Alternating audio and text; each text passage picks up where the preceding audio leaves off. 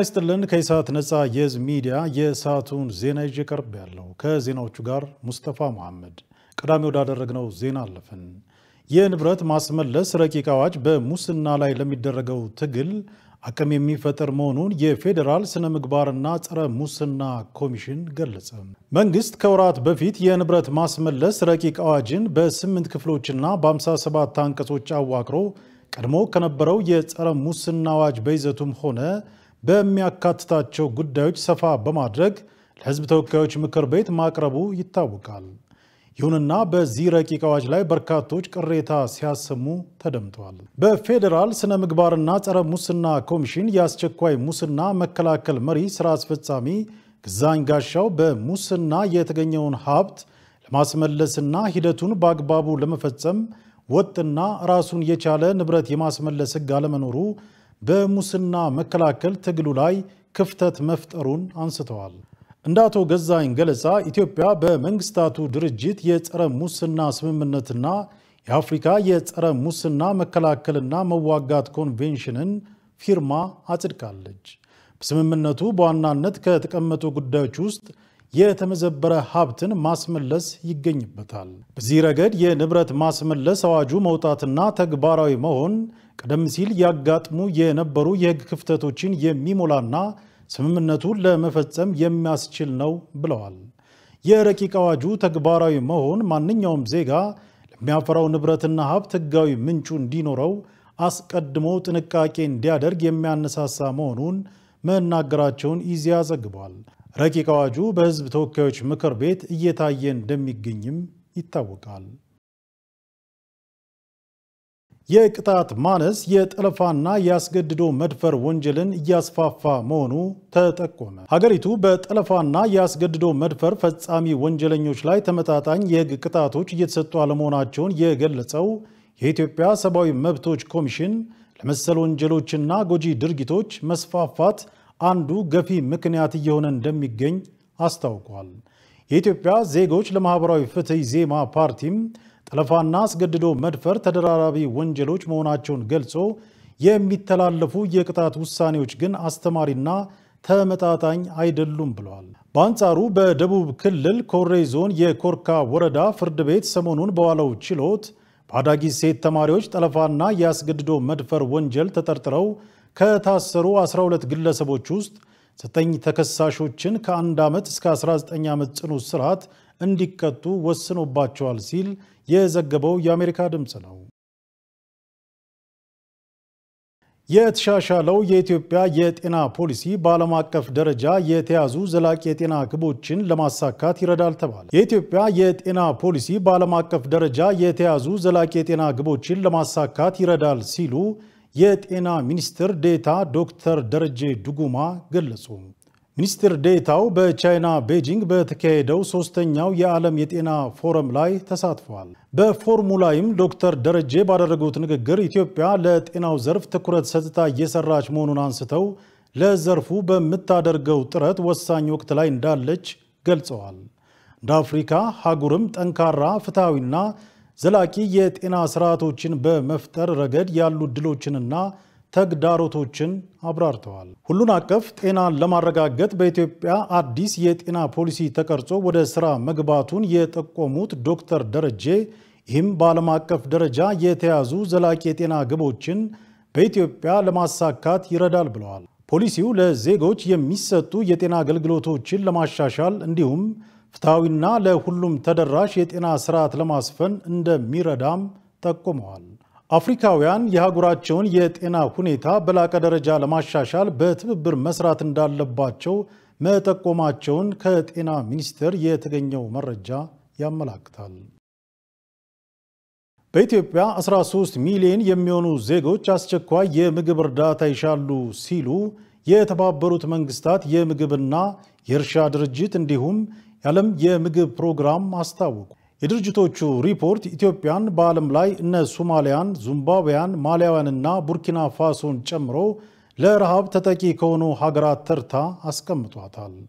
በሀገሪቱ በአሁኑ ወቅት አራት ሚሊዮን የሀገር ውስጥ ተፈናቃዮችን ጨምሮ 13 ሚሊዮን ዜጎች በኢትዮጵያ አስቸኳይ የምግብ እርዳታ ያስፈልጋቸዋል ሲሉ በጋራ አስታውቀዋል።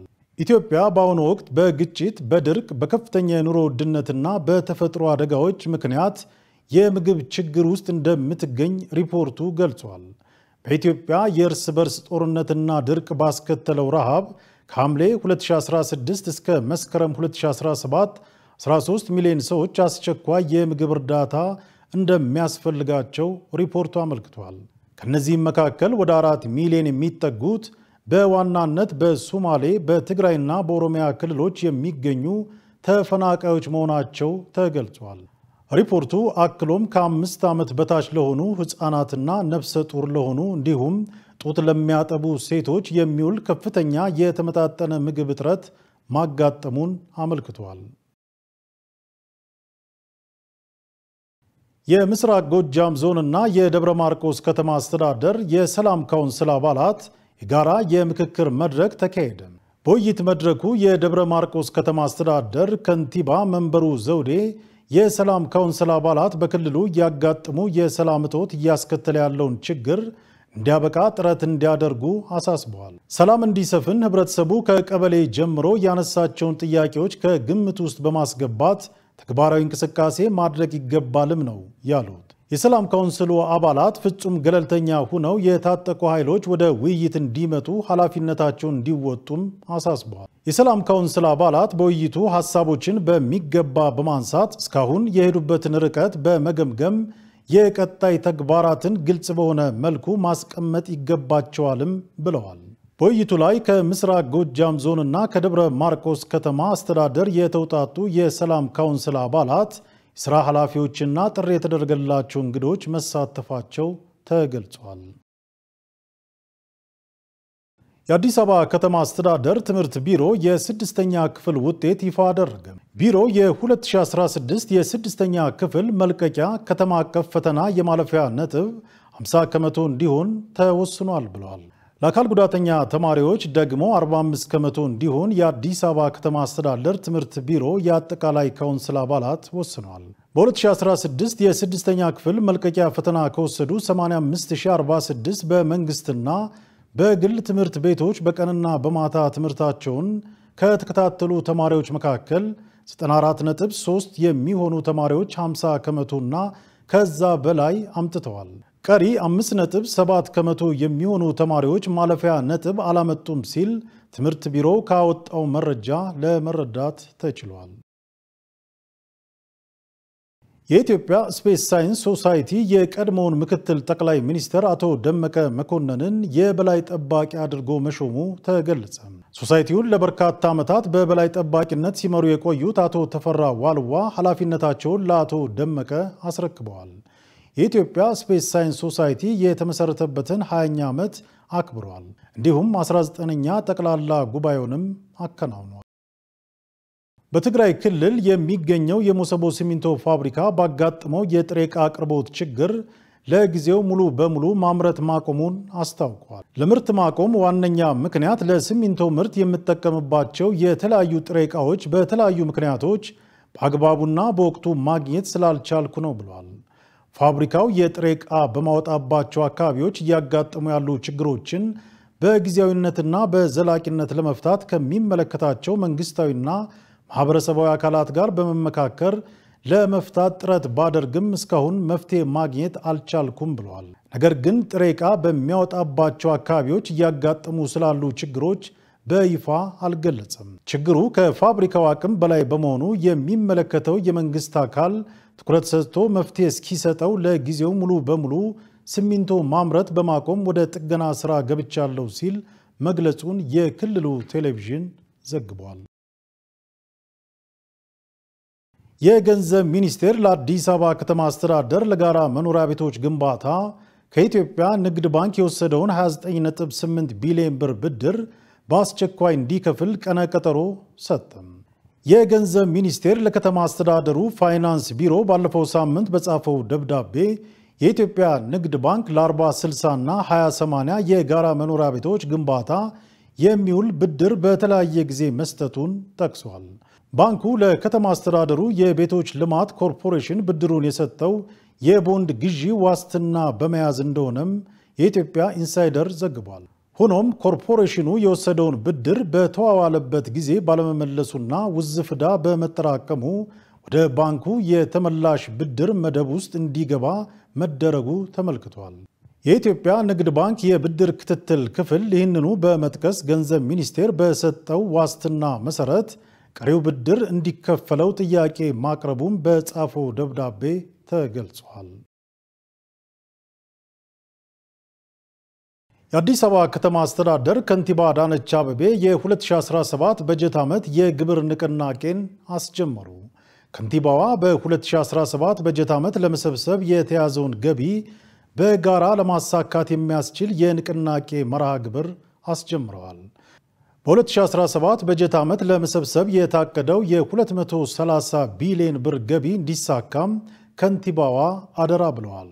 እስካሁን የተሰራው ስራ አዲስ አበባ የምታመነጨው የገቢ አቅም ከዚህ በላይ ሊሆን እንደሚችል የሚያሳይ መሆኑን ጠቅሰው በ2017 ለመሰብሰብ የታቀደውን 230 ቢሊዮን ብር ከብክነት ከብልሹ አሰራርና ከሙስና በጸዳ መንገድ በጋራ ማሳካት እንደሚቻል ገልጸዋል። ከንቲባዋ በማኅበራዊ ትስስር ገጻቸው ባሰፈሩት ጽሑፍ በዚህ ዓመት ለተገልጋዮቻችን የአገልግሎት መስጫዎቻችንና የአሰራር ስርዓታችን ላይ ማሻሻዎችን ለማድረግ ስራዎችን ትኩረት ሰጥተን የምንሰራ ይሆናል ብለዋል። የኢትዮጵያ ሜትሮሎጂ ኢንስቲትዩት በሚቀጥሉት አስር ቀናት የመኸር አምራችና የክረምት ተጠቃሚ በሆኑ የሀገሪቱ አካባቢዎች የሚኖሩ የተስፋፋ የእርጥበት ሁኔታ ለግብርና ስራ ተስማሚ መሆኑን አስታወቀም። የመኸር የእርሻ ስራ ዘግተው ለሚጀምሩ አካባቢዎች አፈር ውስጥ እርጥበትን እንደሚያሻሽልና የመኸር ሰብሎችን በወቅቱ ለመዝራት ምቹ ሁኔታን እንደሚፈጥርም ነው የተመለከተው። ለቋሚ ተክሎች የውሃ ፍላጎት መሟላትና በአሁኑ ጊዜ እርጥበት እያገኙ ላሉ በምስራቅና በሰሜን ምስራቅ ለሚገኙ አርብቶ አደሮችና ከፊል አርብቶ አደር አካባቢዎች የግጦሽና የመጠጥ ውሃ አቅርቦት መሻሻል የጎላ ጠቀሜታ እንደሚኖረው ጠቁመዋል።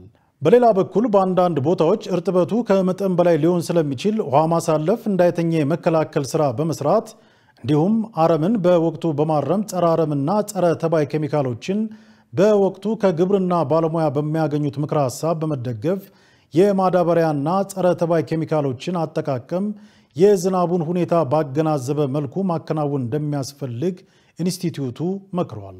እንዲሁም በአንዳንድ አካባቢዎች ከሚጠበቀው ከባድ ዝናብ ጋር ተያይዞ ቅጽበታዊ ጎርፍና የመሬት መንሸራተት መከሰት በተለይም በተከታታይ ዝናብ እያገኙ ባሉ ከባድ ዝናብ በሚጠበቅባቸው ቦታዎች አርሶ አደሩና የሚመለከታቸው አካላት በጋራ በመሆን በሰብሎች በእንስሳትና በንብረት ላይ ጉዳት እንዳይደርስ ተገቢውን ጥንቃቄ ማድረግ ይኖርባቸዋል ሲል ኢንስቲትዩቱ አሳስቧል።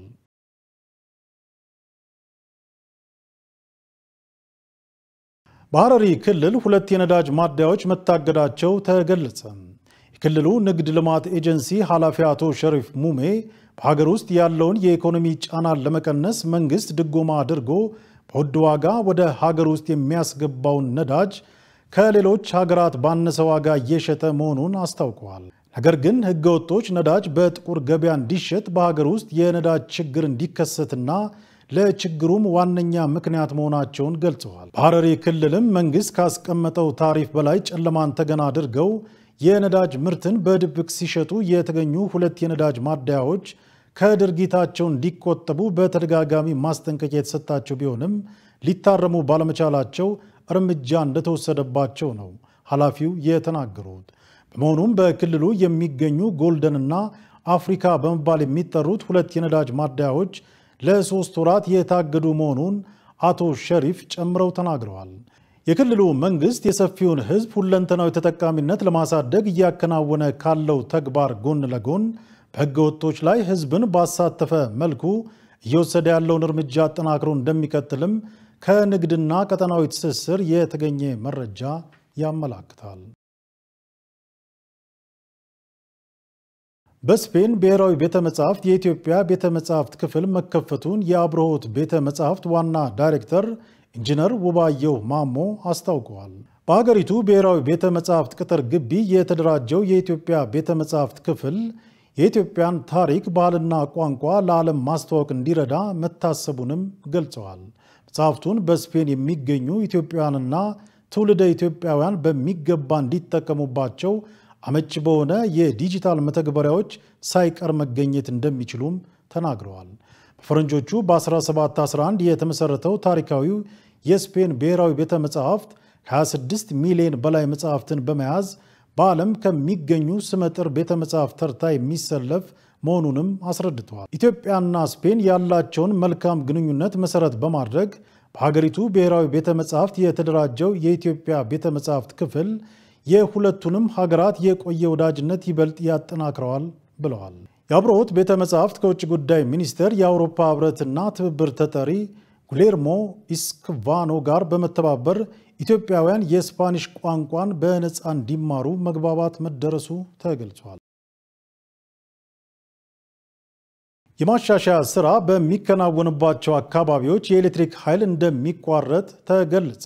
እሁድ ሐምሌ 14 2016 ዓ ም በአዲስ አበባ ከተማ የኤሌክትሪክ መሠረተ ልማት ማሻሻያ ስራ ስለሚከናወን ከጠዋቱ 3 ሰዓት እስከ 11 ሰዓት ድረስ የሚቋረጥባቸው አካባቢዎች መኖራቸውን የኢትዮጵያ ኤሌክትሪክ አገልግሎት አስታውቋል። እነዚህ አካባቢዎችም አቃቂ ገበያ፣ ቤጂንግ ሆስፒታል፣ አዲስ መድኃኒት ፋብሪካ፣ መርቃጫ ፋብሪካ፣ ቅሊንጦ ኮንዶሚኒየም፣ የሺ ቶታል መስጊድ፣ አዲስ አበባ ሳይንስና ቴክኖሎጂ ዩኒቨርሲቲ፣ ብረታ ብረት ማቅለጫና አካባቢዎቻቸው የኤሌክትሪክ ኃይል አቅርቦት ሙሉ በሙሉና በከፊል እንደሚቋረጥ የአገልግሎቱ መረጃ ያሳያል።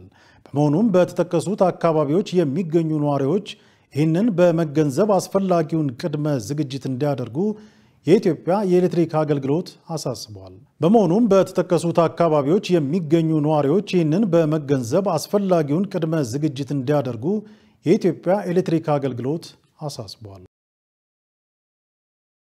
ተመልካቾቻችን ከኢሳት ነፃ የሕዝብ ሚዲያ ዜናዎቻችን እንደቀጠሉ ናቸው። አሁን ደግሞ ከውጭ ወዳገኘናቸው ዜናዎች አልፈናል።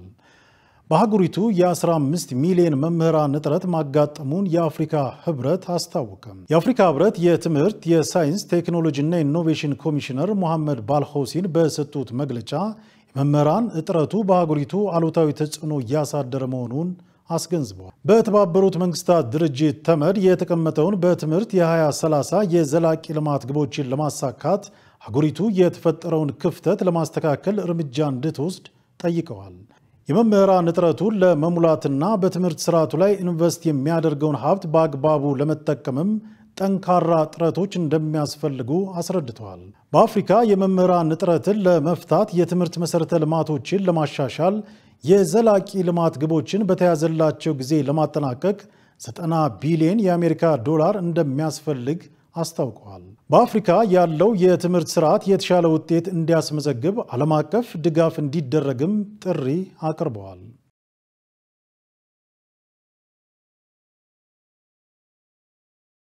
በሀይቲ ስደተኞችን አሳፍራ ትጓዝ የነበረች ጀልባ ላይ በተነሳ የእሳት አደጋ 40 ስደተኞችን ለህልፈት መዳረጋቸውን የስደተኞች ድርጅት አስታወቀ። ጀልባዋ ከካፕ ሃይቴን ወደ ተርኪስና ካይኮስ ደሴቶች ስደተኞችን ጭና ትጓዝ እንደነበር ድርጅቱ አስታውቋል።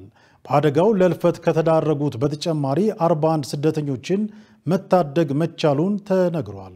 ስደተኞች ያሰቡበት ቦታ በሰላም ይደርሱ ዘንድ ጸሎት ለማድረስ በሚል የለኮሱት ሻማ ያስነሳው እሳት የጀልባዋ ሞተር ላይ በመድረሱ የእሳት አደጋው ሊፈጠር እንደተቻለ ተመልክቷል። በሃይቲ ባለው ያልተረጋጋ ፖለቲካ ምክንያት የሥራ ዕድል አለመኖር፣ ያልተማከለ አስተዳደር፣ የጤና አቅርቦትና የትምህርት ቤት መዘጋት ሳቢያ በርካታ የሀገሬው ዜጎች ስደትን ምርጫቸው እንዲያደርጉ እንዳስገደዳቸው ይነገራል። በቅርቡ ታጣቂ አማጽያኑ ዋና ከተማዋን የተቆጣጠሩ ሲሆን ጠቅላይ ሚኒስትር አሪዮን ሄነሪም ስልጣን መልቀቃቸው አይዘነጋም።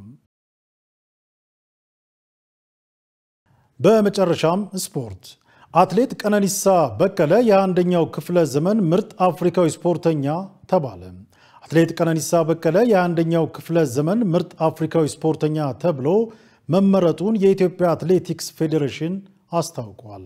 የአሜሪካው የስፖርት ቻናል የሆነው ESPN የ21ኛው ክፍለ ዘመን ምርጥ አስር ታላላቅ አፍሪካውያን ስፖርተኞችን ይፋ ማድረጉን የገለጸው ፌዴሬሽኑ በዚህም ኢትዮጵያና ኬንያ ሁለት አትሌቶችን በማስመረጥ ቀዳሚ ሆነዋል ብለዋል። የረጅም ርቀት ሯጩ አትሌት ቀነኒሳም ቀዳሚውን ደረጃ መያዙንና ኬንያዊው ኤሊዩድ ኪፕቾጌ ሁለተኛ መሆኑን የፌዴሬሽኑ መረጃ አመልክቷል። በሴቶች የዚምባብዌዋ የዋና ስፖርት ተወዳዳሪ ክሪስቲ ኮቨንትሪ ቀዳሚ ስትሆን አትሌት ጥሩነሽ ዲባባ በሴቶች ሁለተኛ ሆናለች። በሁለቱም ጾታ ደግሞ አምስተኛ ደረጃ ላይ መቀመጥ መቻሏን ፌዴሬሽኑ ገልጿል። ተመልካቾቻችን ከኢሳት ነፃ የህዝብ ሚዲያ የሰዓቱ ዜና ተጠናቀዋል። ከዜናዎቹ ጋር ሙስተፋ መሐመድ አብሬያችሁ ቆይታ አደረግኩ። ከቀሪ የኢሳት ዝግጅቶች ጋር መልካም ቆይታ ይሆንላችሁ። Música